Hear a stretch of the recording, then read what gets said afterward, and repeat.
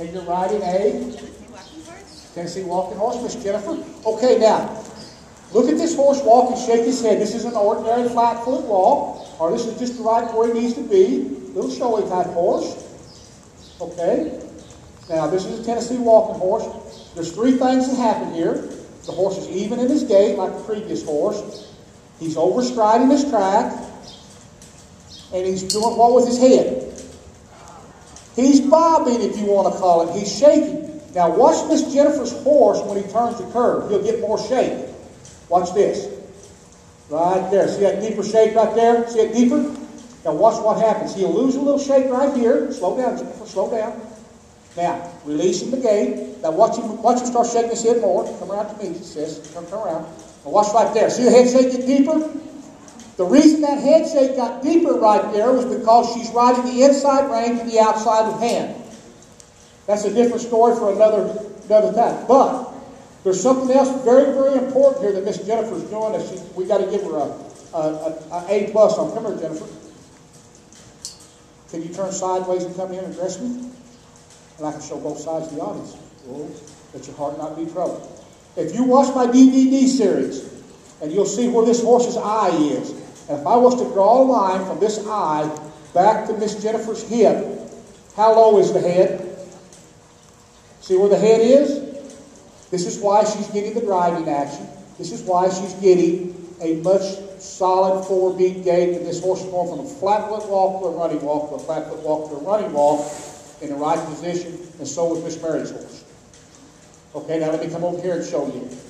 If I draw a line from, from Jennifer's eye of this horse, put a string there, and come straight back. See where that horse is? See where that head is? Hey, Dave, the higher the horse's head, the less brains. The lower the horse's head, more brains. Never forget it. And if you're in if you ascribe to the show world, you want to actually bring this horse's head up just a little bit more to get this horse more expression and more engagement on the hindquarters. And I'll show you how to do that here just real quick with this horse. Come around through here again. Okay, put your horse in a flat foot walk. Okay, very good. Jennifer, turn your thumbs up for me just a little bit, like this. Now, very gently, I want you to lift your hands up, up, up, release, release, release. Now, you see that change? You see the horse is off the forehand right there. Right there, the horse is off the forehand. Bump your hand up a little bit, darling. Half halt up. Squeeze. Squeeze your leg. Now, now release it. Release it. Right there, the horse is off the forehand. You feel a little bit more powerful there, sis? That's what you're missing in your riding. That's that power punch. And all she did was a half halt to the horse.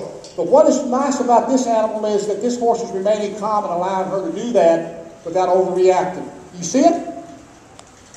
Now, stop and go real slow. Now listen to me. How slow can you go? Loose rein. Come on. Loose rein. How slow can you go? Real loose. How slow can you go? Look at the head. This is the reward that he gives. Miss Jennifer's giving him a reward, or her reward, for doing a great job. Did you hear the horse go? He's just relaxed in his mind for it. Great. Great.